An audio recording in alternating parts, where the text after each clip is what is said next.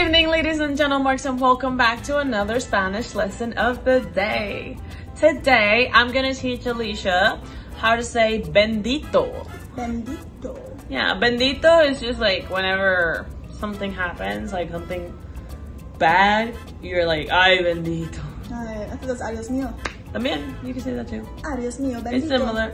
You can just say, be- ay bendito or bendito. Bendito. Yeah, and like the actual word just means like holy, Ah. but so it would be like holy. Bendito merde something. What was that? How you say shit again? Mierda, but that's Mierda. not Bendito merde. That's holy shit, right? not quite.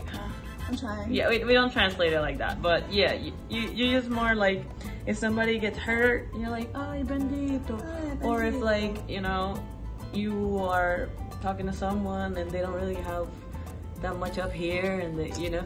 So you say bendito gonna it's, start and he don't think he you don't think Hi, bendito. listen over